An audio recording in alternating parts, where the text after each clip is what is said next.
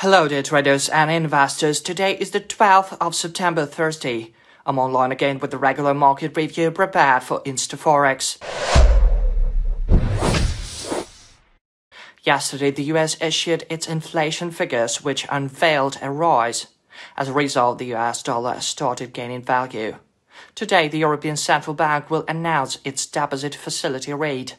Analysts suppose that the regulator will cut the rate by 25 basis points. Sometime later, the ECB will hold its press conference. At the same time, the United States will disclose its PPI data. Let us switch to trading charts. Yesterday, during the European session, gold was testing the high of 25.28, recorded two days ago.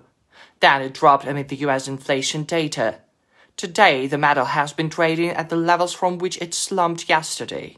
Curiously, there is a swing low formed yesterday around 25.12. There is one more swing low near 25.00. The price has touched this level several times already. It is good news for those who are trying to buy the asset now. If the expected US reports are weak, gold may continue rising, thus breaking the mentioned high. The euro dollar pair dropped yesterday amid the inflation data. I do not see any reversal signs at present. It is better to avoid trading this instrument now.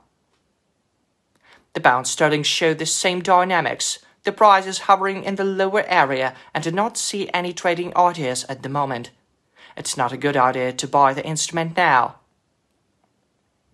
Meanwhile, the Australian dollar pulled back considerably. However, it managed to fully recover and rise even higher. There are signs of the formation of a swing low around 0.6675. The instrument will climb if the US data is in the red.